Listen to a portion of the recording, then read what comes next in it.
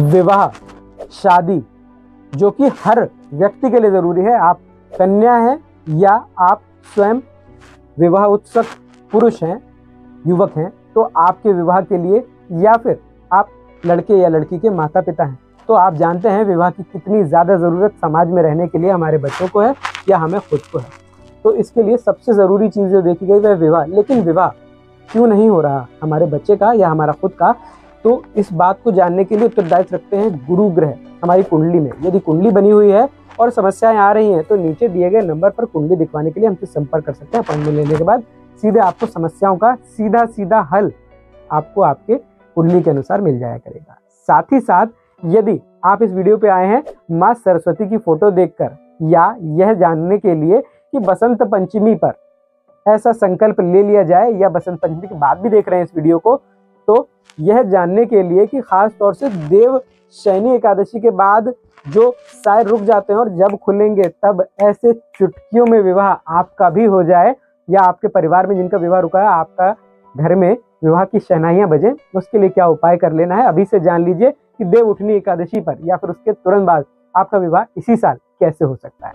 तो जान लीजिए कि आपको जो पूरे साल में जो विशेष खास आपको अनबूझ साय मिलते हैं, अनबूझ सहालक मिलती है, अनबूझ शादी के मुहूर्त मिलते हैं, उनमें से सबसे विशेष जो है, वह है फलेरा दूध जो कि अभी आने वाली है।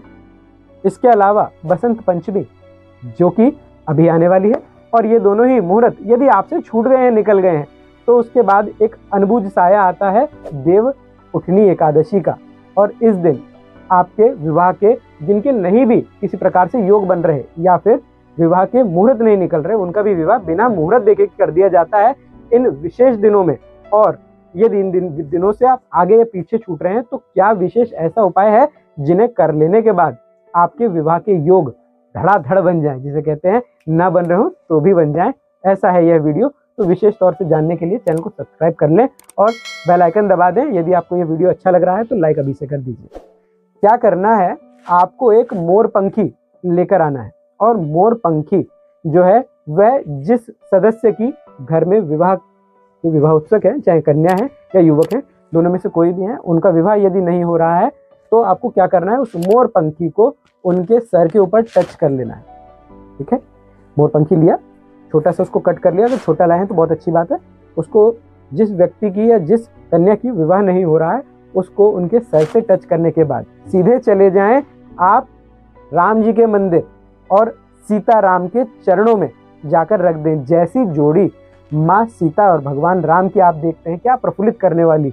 ऐसी आप जोड़ी को देखते हैं और इस जोड़ी के चरणों में आप जाकर सीधे इस मोर पंखी को रख दें और मनोकामना, जो भी संकल्प है आपका, वह कह दें कि इस देव उठनी एकादशी या उससे पहले पहले मेरे घर के सदस्य या मेरी खुद की, जिसका भी आप विवाह चाहते हैं।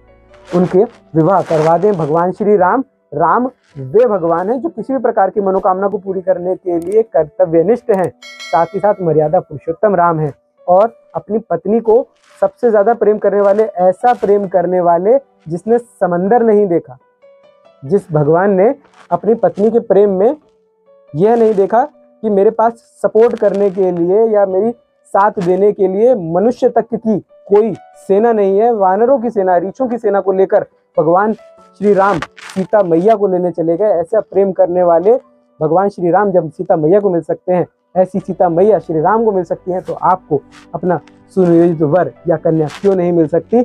आपके मनवांचित वर आपको मिल जाए, बहुत ही अच्छा। और यदि प्रेम विवाह नहीं भी करना चाहते तो अरेंज मैरिज इसी साल आपकी हो जाए, इसलिए ये उपाय कर डालें।